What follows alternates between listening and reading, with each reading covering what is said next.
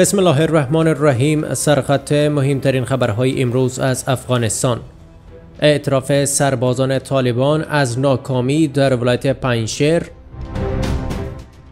لشکرکشی 500 نفری گروه طالبان علیه مقاومت.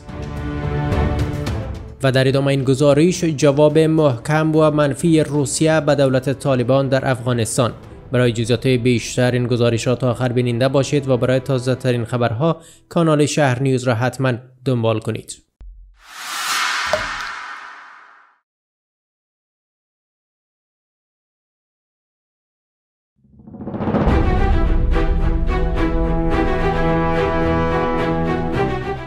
نماینده روسیه برای افغانستان می‌گوید که مسکو دیپلمات طالبان را پذیرفته اما حکومت گروه طالبان را هنوز به رسمیت نمی‌شناسد. زمیر کابلوف گفته که هنوز پرچم طالبان در سفارت افغانستان در مسکو برافراشته نشده است. هنوز هیچ کشور طالبان را به رسمیت نمی‌شناسد.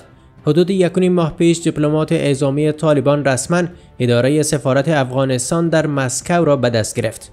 بانک نمایندگی های سیاسی طالبان در برخی کشورها از جمله چین، روسیه و پاکستان به طالبان واگذار شده اما هیچ کشوری رژیم این گروه را به رسمیت نمی‌شناسد. زمیر کابلوف نماینده ویژه روسیه برای افغانستان به روزنامه Economic Times گفته که توپ در زمین طالبان است که حکومت فراگیر تشکیل بدهند. برخورد طالبان با زنان، نقض فاحش حقوق بشر، کشتار و شکنجه کارمندان ملکی و نظامی حکومت و حکومت تکگروهی از جمله مواردی که باعث شده هیچ کشور حاضر نشود این گروه را به رسمیت بشناسد.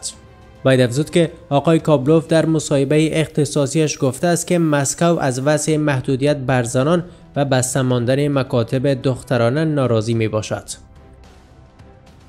در همین حال یک از فرمانده های گروه طالبان در ولایت پنشیر می گوید که پنشیر یکی از های کوچک است اما تا هنوز هم به طور کامل تسخیر نشده است. تا زمانی که این ولایت به طور کامل تسخیر نشود ما آرامش کامل نداریم. ما مبارزه می‌کنیم اما شکست دره‌ای که روزی در مقابل ابرقدرت جهان ایستادگی کرده بود اینقدر هم آسان نیست. این گفته ها در حالی است که طالبان چند روزی گذشته تلفات زیادی در ولایت پنشیر داده است. ولایت پنشیر یک از ولایت هایی است که هیچ گروه تا هنوز موفق به تسخیر کاملش نشده است.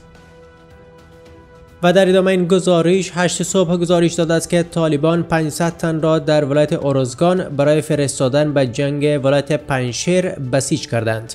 منابع محلی در ولایت اورزگان می‌گویند که گروه طالبان 500 تن از باشندگان ولایت را برای فرستادن به جنگ پنشیر آماده کرده است.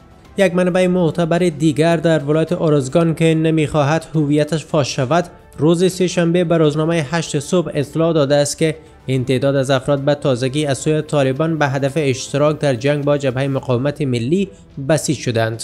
باید افزود که از نبردها میان جبهه مقاومت ملی و طالبان در پنشیر هماروزه کشته های طالبان منتقل می شود اما این گروه نمی‌خواهد که تلفاتشان رسانه‌ای شود. بیننده های محترم کانال شهر نیوز نظر شما در مورد این سه خبر چیست؟ نظر خش را در کامنت همین گزارش با همه به اشتراک بگذارید. تشکر از اینکه تا آخرین گزارش با ما همراه بودید. تا یک گزارش دیگر خدا نگهدار.